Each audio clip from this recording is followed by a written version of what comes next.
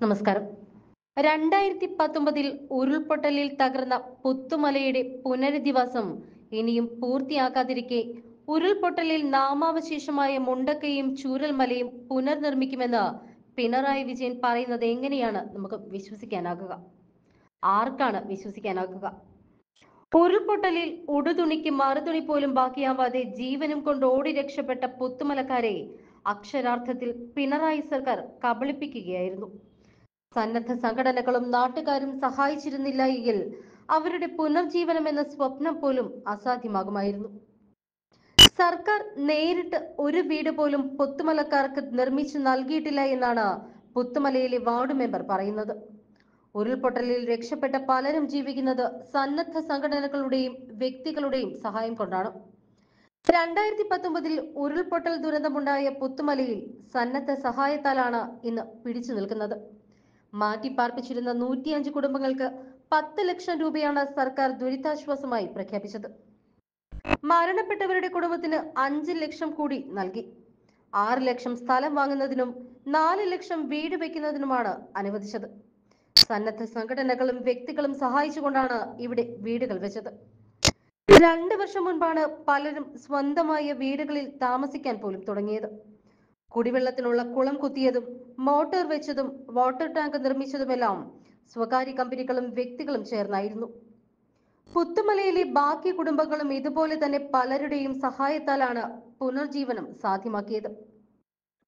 സംസ്ഥാന സർക്കാർ നേരിട്ട് ഒറ്റ വീട് പോലും പുത്തുമലക്കാർക്ക് നിർമ്മിച്ച് നൽകിയിട്ടില്ല എന്നാണ് പുത്തുമല വാർഡ് മെമ്പർ സുകന്യ പറയുന്നത്. ഭൂമി നഷ്ടപ്പെട്ടവർക്കും മറ്റ് വസ്തുക്കൾ നഷ്ടപ്പെട്ടവർക്കും യാതൊരുവിധ ധനസഹായവും ഇതുവരേക്കും ലഭിച്ചില്ല. ദുരന്തബാധിതരായ ഭൂരിഭാഗം പേർക്കും ലഭിച്ചത് നാല് ലക്ഷം രൂപ മാത്രമായിരുന്നു. വന്യമൃഗ ആക്രമണത്തിൽ ആളുകൾ കൊല്ലപ്പെടുമ്പോൾ പത്ത് ലക്ഷം രൂപ വരെ നഷ്ടപരിഹാരം നൽകുമ്പോൾ ഉരുൾപൊട്ടൽ ദുരന്തത്തിൽ മരിച്ചവരുടെ കുടുംബാംഗങ്ങൾക്ക് അഞ്ച് ലക്ഷം മാത്രമാണ് നൽകിയത്. പൂത്തക്കൊല്ലിൽ സ്കൂൾ നിർമ്മിക്കുമെന്ന സർക്കാരിന്റെ വാഗ്ദാനം ജലരേഖ മാത്രമായി തുടർന്നു. ദുരന്തബാധിതരോട് പറഞ്ഞ പല വാക്കുകളും പിണറായി സർക്കാർ പാലിച്ചില്ല. കവളപ്പാറയിലും പിണറായിയുടെയും സി പി എമ്മിന്റെയും ചതി തന്നെയാണ് നടന്നത്. കവളപ്പാറയിൽ ഉരുൾപൊട്ടലിൽ രക്ഷപ്പെട്ടവർ താമസിക്കുന്നത് സന്നദ്ധ സംഘടനകൾ നിർമ്മിച്ചു നൽകിയ വീടുകളിലാണ്. നൂറ്റി ഇരുപത്തെട്ട് വീടുകൾ മൊത്തം വേണ്ട സ്ഥാനത്ത് അറുന്നൂറിലധികം വീടുകൾ നിർമ്മിച്ചു നൽകുമെന്നായിരുന്നു പിണറായി സർക്കാർ നൽകിയ വാഗ്ദാനം. മുപ്പത്തിരണ്ട് ആദിവാസി വീടുകളല്ലാതെ ഒരൊറ്റ വീട് പോലും സർക്കാർ അവിടെ നിർമ്മിച്ചില്ല. പറഞ്ഞിരുന്ന വാഗ്ദാനങ്ങളുടെ സ്ഥാനത്ത് പച്ചയായ ചതിയാണ് പിണറായി സർക്കാർ അവിടെ ചെയ്തത്.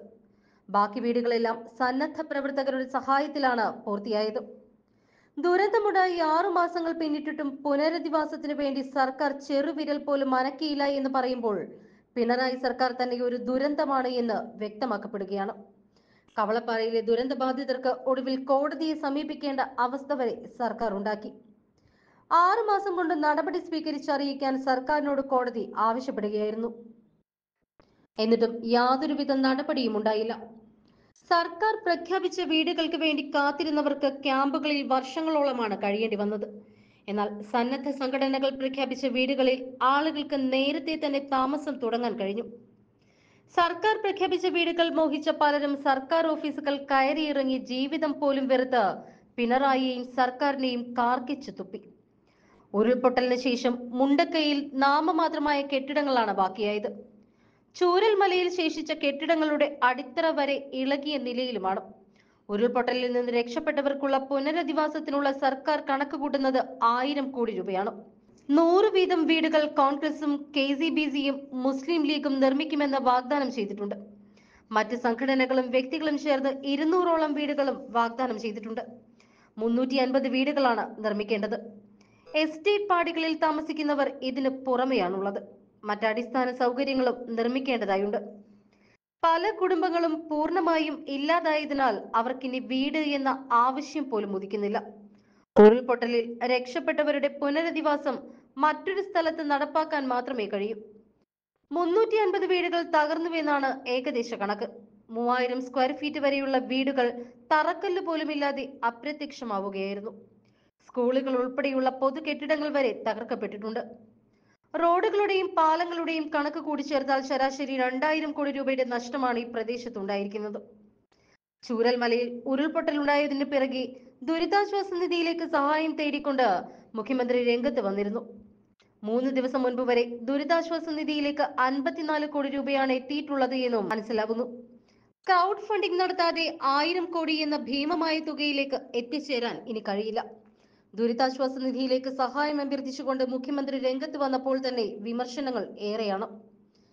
പണം ചെലവഴിച്ചതിന്റെ കണക്കാണ് അപ്പോഴും ചർച്ചയാവുന്നത്. ദുരിതാശ്വാസ നിധിയിലേക്ക് സംഭാവന നൽകിയെങ്കിലും പണം വിനിയോഗിക്കുന്നതിൽ സുതാര്യത വേണമെന്ന് പ്രതിപക്ഷ നേതാവ് വി. ഡി. സതീശൻ ആവശ്യപ്പെടുകയും ചെയ്തു. ദുരിതാശ്വാസ നിധിയിലേക്ക് നൽകാതെ സഹായം നേരിട്ട് നൽകാമെന്ന് പറഞ്ഞയാൾക്കെതിരെ പോലീസ് കേസെടുത്തതും ഇതിനിടെ ചർച്ചയായി. ദുരിതാശ്വാസ നിധിയിലെ പണം ചിലവഴിച്ചതുമായി ബന്ധപ്പെട്ട ലോകായുക്ത കേസിൽ വിധി പ്രതികൂലമാകുമോ എന്ന് ഭയന്ന് ലോകായുക്തയുടെ അധികാരം തന്നെ വെട്ടിക്കുറച്ച് നിയമം പാസാക്കിയതുൾപ്പെടെയുള്ള വിഷയങ്ങൾ ഈ അവസരത്തിൽ വീണ്ടും ചർച്ചയ്ക്കെത്തുന്നു. ഫിലോകാലിയ എന്ന സന്നദ്ധ സംഘടന കഴിഞ്ഞ ദിവസം പുൽപ്പള്ളിയിൽ ഇരുപത്തിയഞ്ച് വീടുകൾ നിർമ്മിക്കാനുള്ള തറക്കല്ല് ഇടുകയുണ്ടായി. മുസ്ലിം ലീഗ് പത്ത് കോടിയോളമാണ് പുനരധിവാസത്തിനായി സമാഹരിച്ചത്. വിശ്വശാന്തി ഫൗണ്ടേഷൻ മൂന്ന് കോടി രൂപ വാഗ്ദാനം ചെയ്തിരുന്നു. വിശ്വശാന്തി ഫൗണ്ടേഷനിലേക്കാണ് നടി സംയുക്ത മേനോൻ മൂന്ന് ലക്ഷം രൂപ സംഭാവന നൽകിയത്. ഇത്തരത്തിൽ നിരവധി ആളുകൾ പല എൻ ജി ഒകൾക്കും സന്നദ്ധ സംഘടനകൾക്കും പണം നൽകി സഹായിക്കുകയാണ്. എന്ത് ദുരന്തം സംഭവിച്ചാലും അപകടം സംഭവിച്ചാലും പത്ത് ലക്ഷത്തിൽ കൂടുതൽ സർക്കാർ നൽകാറില്ല. ചൂരൽമലയിൽ തകർന്ന പല വീടുകളും എഴുപത്തിയഞ്ച് ലക്ഷത്തിലധികം മുടക്കി പണിതവയാണ്. സ്ഥലവും വാഹനങ്ങളും ഉൾപ്പെടെ കണക്ക് കൂട്ടുമ്പോൾ ഒരു വ്യക്തിക്ക് തന്നെ കോടികളാണ് നഷ്ടമുണ്ടായിട്ടുള്ളത്. അങ്ങനെയുള്ളവർക്ക് ആറ് ലക്ഷം രൂപ സ്ഥലത്തിനും നാല് ലക്ഷം രൂപ വീടിനുമായി അനുവദിക്കുന്നത് എങ്ങനെയാണ് ശരിയാവുക? ഈ പണം കൊണ്ട് ഒരാൾക്ക് പോലും സ്ഥലം വാങ്ങി വീട് പണി പൂർത്തിയാക്കാൻ കഴിയില്ല. പല വകുപ്പുകളിലൂടെ ഫയൽ കയറി ഇറങ്ങി തിരിഞ്ഞെത്തുമ്പോഴേക്കും വർഷങ്ങൾ കഴിയുമെന്നതാണ് മറ്റൊരു സത്യം. എന്നാൽ സന്നദ്ധ സംഘടനകളുടെയും വ്യക്തികളുടെയും ഇത്തരത്തിലുള്ള സഹായങ്ങൾക്ക് ഈ കടമ്പകളില്ല. ഒറ്റ വർഷത്തിനുള്ളിൽ തന്നെ വീട് നിർമ്മാണം പൂർത്തിയാക്കാൻ അവർ ശ്രമിക്കും. വീടും അടിസ്ഥാന സൗകര്യങ്ങളും നിർമ്മിച്ചു നൽകേണ്ടത് സംസ്ഥാന സർക്കാരാണ്. മുഴുവൻ രാഷ്ട്രീയ പാർട്ടികളെയും സംയോജിപ്പിച്ചുകൊണ്ട് സമഗ്രമായ പുനരധിവാസ പദ്ധതിയാണ് സർക്കാർ നടപ്പിലാക്കേണ്ടത് എന്ന് മുസ്ലിം ലീഗ് നേതാവ് കെ എം ഷാജിയും ആവശ്യപ്പെട്ടിരുന്നു. സർക്കാർ കൊടുക്കുന്നത് മാത്രമേ അഭിമാനത്തോടെ അവർക്ക് സ്വീകരിക്കാൻ കഴിയൂ. മറ്റുള്ളവയെല്ലാം ഔദാര്യമാണ്. നികുതി പണത്തിൽ അവരുടെ വിയർപ്പിന്റെ അംശം കൂടിയുണ്ട്. അതാണ് പരമാർത്ഥമെന്നും ഷാജി പറഞ്ഞു.